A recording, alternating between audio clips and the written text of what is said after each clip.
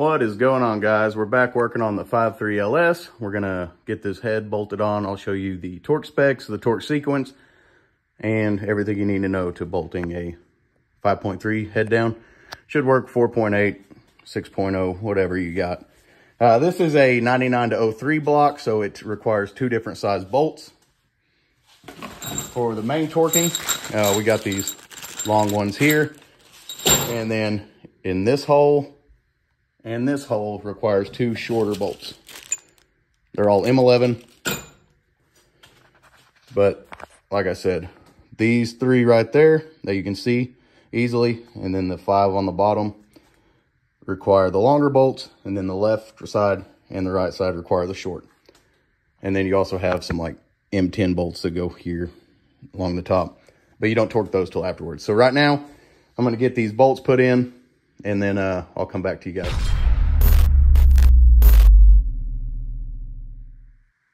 Okay, guys, so the first torque sequence is one, two, three, four, five, six, seven, eight, nine, ten.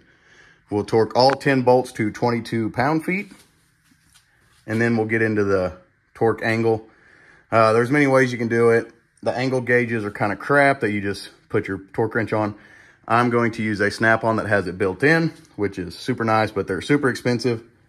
But you can go to Harbor Freight, get a knockoff torque wrench like that for maybe a couple hundred bucks versus I think that one was like 700. So let me just torque these to 22 pound feet real quick. Not really that important for you to watch. Uh, you know how to run a torque wrench if you're watching this video most likely. So I'm going to torque all 10 of these real fast and then I'll come back and I will actually record doing the angle part. So let's get back to it. Okay guys, they're all torqued to 22. So what we're going to do now is set our torque wrench for the second phase, which is 90 degrees.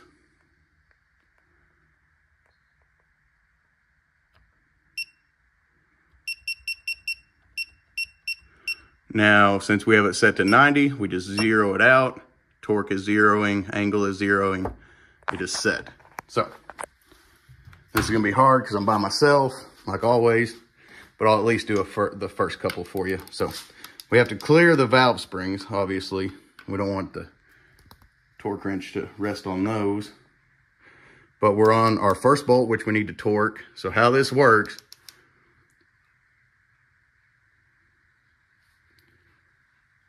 we just start going. We're getting close to the valve springs. So the good thing about the snap-on is it will track the degrees for you. So we're at 55. Just get, as we creep on up, there's 90 with a final torque of 41.2 pound-feet. So now we just move to our second bolt and do the exact same thing. Obviously you can see my shop is a mess from putting this motor together recently. So that tracked us at 38 pound feet, 65 degrees. Put 25 more degrees in it. And we're at a final torque of 44. So I'm gonna knock out these other eight bolts. I'll do that off camera and we'll come back for the third and final phase, which is another 90 degrees on bolts one through eight and then bolts 9 and 10 will only receive 50 degrees since they are shorter. If you have a Gen 4, actually a, a 03 and later block, the torque reading is a little different on the phase. I'll put that down in the description. But for this 99 to 03, uh, the phases 1 through 3 was what I'm using will be good for you. But let me torque these other eight bolts out and uh, we'll come back for the final phase. All right, guys, I hope y'all can see this. So I've got my torque wrench re-zeroed at 90 degrees again and we're just going to start the process over. I got a little better camera angle. Hopefully y'all can uh, see this, but we're starting on our number one bolt again. We're going to torque it for the third phase to the final 90 degrees. Go nice and slow so you creep up on that 90 nice and slow. You don't want to over torque it.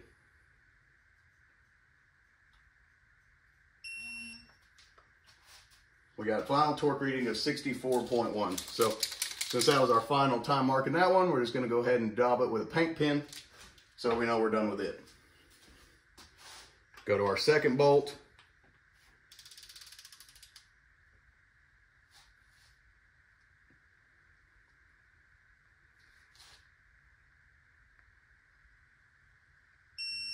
And that's final reading of this about the same. So mark number two.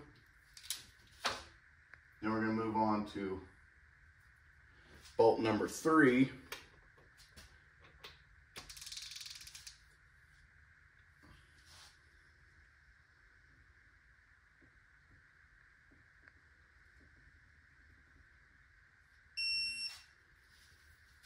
Probably a little easier for you guys if you have somebody to hold the uh, engine stand for you as you get to these higher torque values.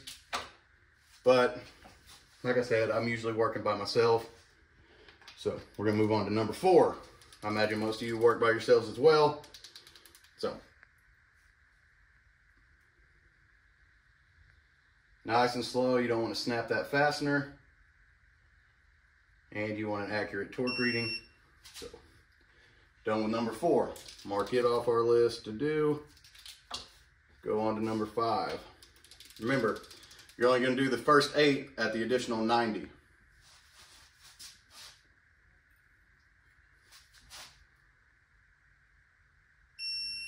Number five is done. So now we'll go on to number six. Hopefully I'm staying out of y'all's camera angle.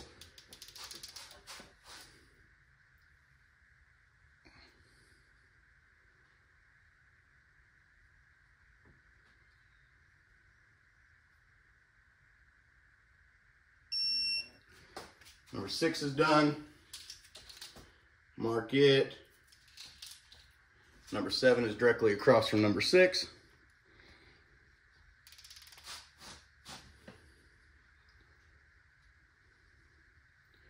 remember, if you can't get a full swing out of it, the torque wrench will keep track of it, or at least this one does. So we're at 66 degrees. Now at our 90. Number seven's done. So now we move on to number eight.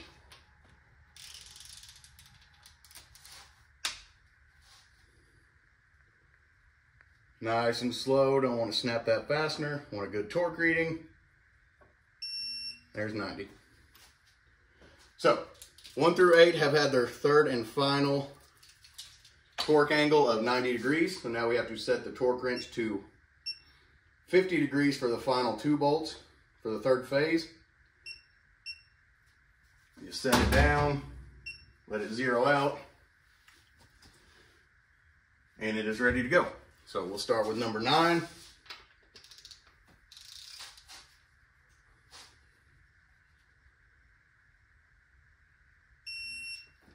There's 50. Go to number 10, our 10th and final bolt for the big M11 bolts. Okay, so we got a final torque reading there. Now, you still have five of these M10 bolts, which will go in the top of the, or I guess towards the intake side of the head. Let me put a pin in here. They will go one, two, three, four, and five. 11, 12, 13, 14, 15 in torque sequence and they will not need, they will just be torqued to 22 foot-pounds. They don't need any additional torque angle or anything afterwards. So you will just torque them to 22. So like I said, 11, 12, 13, 14, 15, all at 22. Uh, I'm gonna turn this back up now so I can get a better angle at it and uh, we'll get them torqued down. These are actually M8 bolts, not M10. Sorry about that. I like to just run them in with a speed handle until they're flush against the block and then we go to torquing. So 11,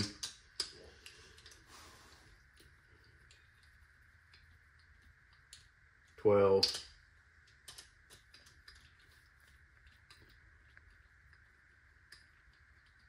thirteen,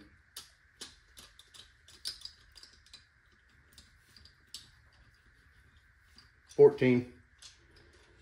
And the final one is 15. And uh, it can be kind of a booger sometimes because the steam port wants to get into the bolt Just take it nice and slow, run it all the way down. Alrighty, those are on. Our torque wrench has been zeroed out. So we're gonna go ahead and start, whoops, sorry. Got the wrong one on there.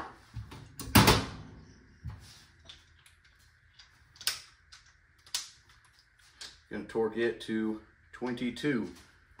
Now it's gonna be hard for me to read at the angle, but we got a little light telling us when we're there. It's nice and slow, creep up on that torque spec. 22. So 11.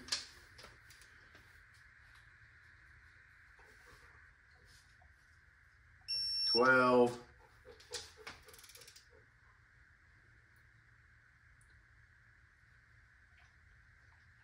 Thirteen.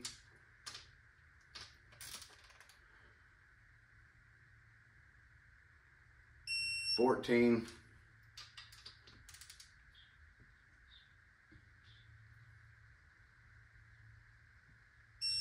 And 15. And that is all it takes. Well, obviously, a lot more involved in it, but uh, that is the torque spec slash, slash sequence for torquing down LS heads. I already did the driver side before I got to this one. Wanted to record this one for y'all. If you're thinking about doing it, man, there's a little bit involved price-wise on getting the tools necessary to torque them down, but the knowledge you gain is going to be well worth it in the long run. So I'm going to go ahead and get these uh, exhaust and intake ports masked off with some tape, and uh, we'll catch you on the next one, guys. If you like, comment, subscribe, guys. Catch you on the next one.